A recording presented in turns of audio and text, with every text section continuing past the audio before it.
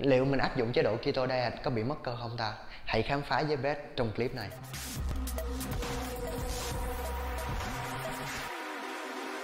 Xin chào tất cả các bạn. Chủ đề ngày hôm nay, mình sẽ nói về những hiểu lầm trong quá trình mình áp dụng chế độ keto diet. Thì đây cũng là những cái hiểu lầm mà trước đây khi Pet lần đầu tiên áp dụng chế độ keto diet thì đã mắc phải thì ngày hôm nay Pet sẽ muốn chia sẻ tất cả những cái sai lầm này cho mọi người. Thì uh, sai lầm đầu tiên mà uh, mình hay thường nghĩ khi áp dụng chế độ keto diet đó chính là mình bị mất cơ. Thứ nhất đó là cơ thể của mình nó trở nên nhỏ lại thứ hai đó là mình squat hoặc là mình đẩy hoặc là mình tập luyện nó trở nên yếu hơn và thứ ba khi mình bước lên máy body mình thấy lượng cơ của mình bị giảm xuống thì mình cho rằng đó là bị mất cơ. Nhưng thật ra không phải mọi người. Khi mình áp dụng chế độ keto diet này lượng nước trên cơ thể của mình nó bị giảm xuống đồng thời mình ăn ít tinh bột lại. Nên vì vậy khi mình tập luyện á tất nhiên mình sẽ yếu hơn rồi giống như Brad đã giải thích ở các bài trước.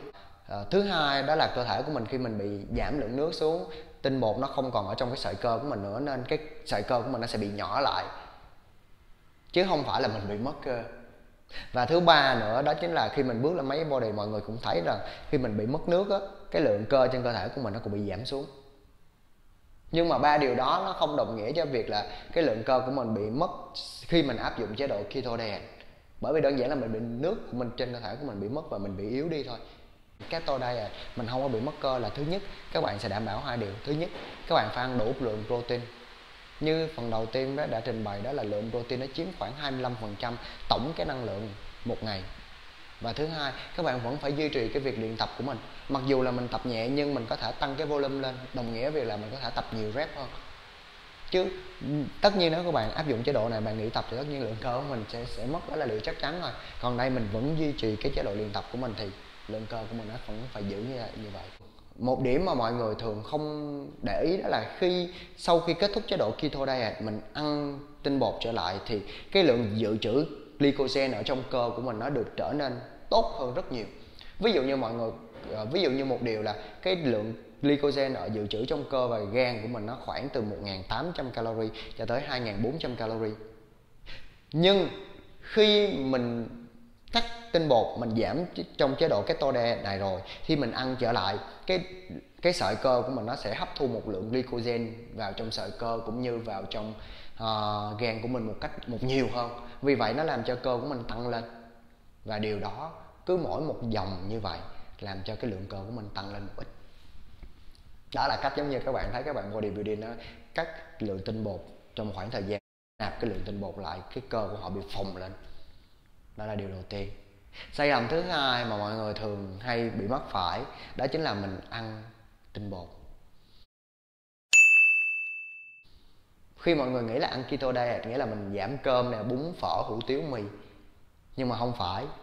Tất cả những gì có sẽ liên quan tới thực thực vật đó chính là tinh bột. Chẳng hạn như không phải là mình các chế độ keto diet thì mình ăn uh, gạo lứt hoặc là mình ăn bánh mì đen thì mình gọi đó là keto diet hay là mình ăn yếu mạch thì đó gọi là ít linh thôi. Có nghĩa là mọi người sẽ ăn những cái sản uh, những cái loại thực vật tốt cho cơ thể của mình chứ không phải đó là keto diet à. mình vẫn ăn tinh bột.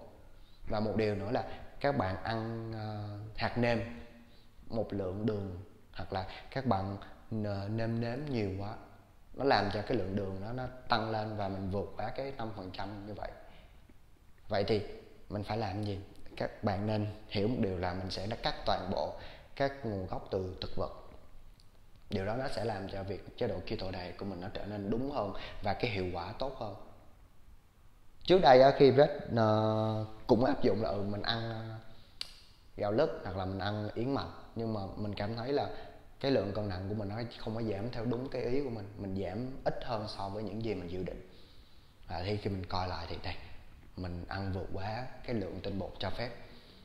Năm tối đa là 50 gram trên một ngày cái hiểu lầm tiếp theo khi mình áp dụng chế độ keto diet này đó chính là mình ăn quá ít rau. Bởi vì mình luôn cắt luôn tinh bột nên mình ăn ít cái lượng rau lại và chính vì điều đó nó làm cho cơ thể của mình bị táo bón lắm dạ. vậy thì như trong các clip trước Brad đã hướng dẫn rồi là mình nên ăn khoảng từ 400 cho tới 500 gram rau mỗi ngày. Rau lá nha mọi người rau ăn lá. Còn uh, rau từ các loại như là chẳng hạn như cà rốt thì mình nên hạn chế. Khi mình ăn nhiều rau như vậy, nó sẽ giúp cho việc giữ cái cân bằng, cái lượng pH trong cơ thể của mình. Có nghĩa là cơ thể của mình nó không bị quá axit và làm cho cơ thể của mình bị mệt. Và mình ăn ít rau cơ thể của mình bị thiếu vitamin và khoáng chất. Đó là điều tiếp theo khi ờ, mình áp dụng chế độ keto này. Diet cái hiểu lầm cuối cùng khi áp dụng chế độ keto diet đó chính là mình ăn quá nhiều chất béo chuyển hóa, hay gọi là trans fat.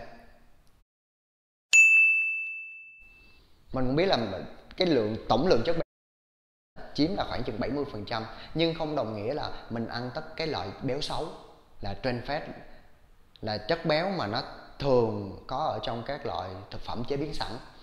Thật ra cái nguồn gốc của chế, của trans fat đó chính là dầu thực vật, nhưng các nhà sản xuất muốn giữ cho cái hương vị cũng như cái thời gian bảo quản của thực phẩm được lâu hơn, nên đã biến đổi cái dầu thực vật này thành chất béo chuyển hóa và đây là một trong những phần nó giúp cho, làm cho việc là mình ảnh hưởng tới sức khỏe của mình như là các bệnh như là tim mạch.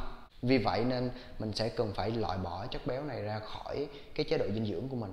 Bằng cách là mình không nên ăn các thực phẩm chế biến sẵn.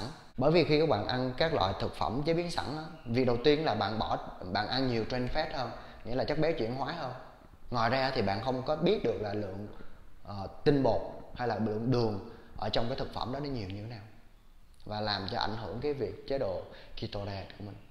Vậy thì mình sẽ ăn như thế nào? Thì mình sẽ chuyển sang là mình sẽ ăn chất béo tốt như là uh, chất béo có nguồn gốc từ thực vật đó là dầu thực vật hoặc là các loại cá đặc biệt là cá hồi hoặc là các, các loại cá ở vùng biển lạnh. Nó sẽ giúp cho việc là mình bổ sung cái omega 3 cho cơ thể của mình.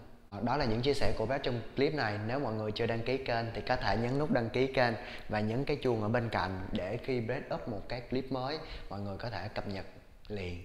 Xin chào và hẹn gặp lại.